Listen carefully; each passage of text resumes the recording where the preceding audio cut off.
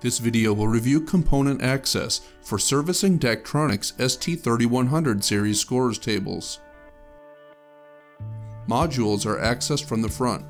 Front access to modules requires removal of the top pad and face panel. To remove the top pad, use a small pick or screwdriver to disengage both spring pins on each of the hinges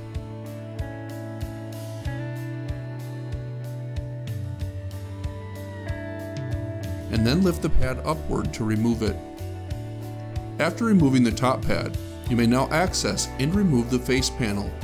Use a T25 Torx bit to loosen and remove the screws securing the face panel to the top flange.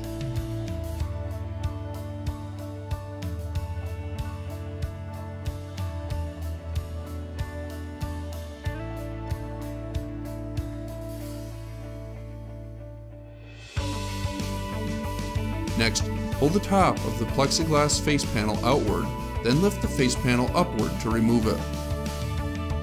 After the face panel is removed, you may remove the modules. To remove a module, begin by turning the knob on the module tool clockwise to disengage the magnet. Center the tool on the face of the module to be removed, and then turn the knob to engage the magnets. Pull the module straight outward to remove it from the display face. Use caution when removing and handling display modules to avoid damaging them. Reverse these steps to install a module. Looking at the table from the rear, you will see access doors underneath the tabletop. If there is a DI6000 installed within the table, it will be located behind the leftmost door. In a setup of multiple tables, there will only be one DI6000, the DI6000 may also be located in the control room depending on how your displays are configured.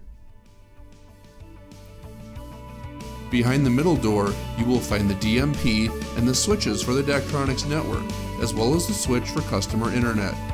The customer internet switch provides signal to the Ethernet jacks on the backsplash.